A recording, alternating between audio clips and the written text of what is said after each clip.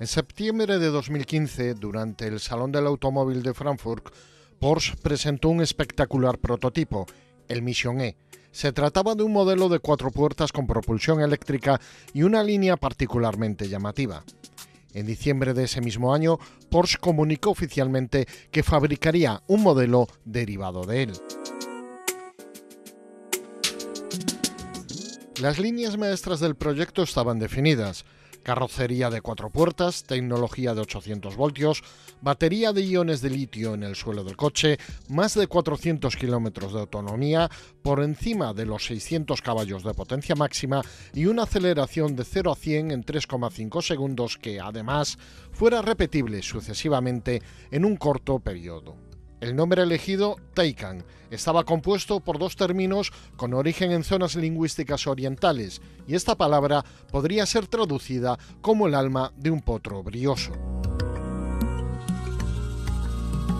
La presentación mundial fue tan espectacular como la ocasión lo requería. Se realizó simultáneamente en los tres mercados más importantes para Porsche, América del Norte, China y Europa, en emplazamientos relacionados con la energía sostenible la hidroeléctrica en las cataratas del Niagara, la solar en el parque fotovoltaico de Naucherben, cerca de Berlín, y la eólica en unas instalaciones en la China de Pingtang.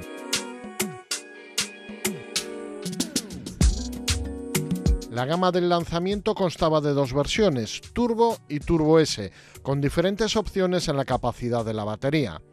La potencia máxima podía llegar a 680 caballos en el primer caso y a 761 en el segundo, con las funciones Overboost y Launch Control. Ambas versiones tenían tracción total con un motor eléctrico en cada eje.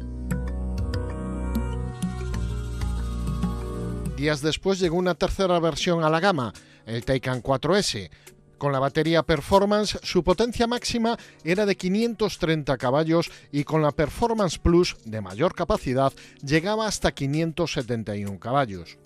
Como el Turbo y el Turbo S, también estaba dotado de tracción total.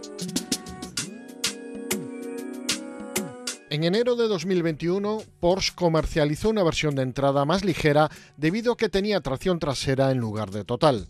Podía llevar la batería Performance y un motor de 326 caballos o bien la Performance Plus y 380. Esas cifras de potencia máxima podían aumentar momentáneamente con la función Overboost y el Launch Control activado, 408 y 406 caballos respectivamente. En enero de 2022, Porsche presentó la tercera carrocería de Taycan, el Sport Turismo. Tenía un chasis semejante al del Taycan original, pensado solo para la carretera, con una carrocería de portón trasero propia del cross turismo.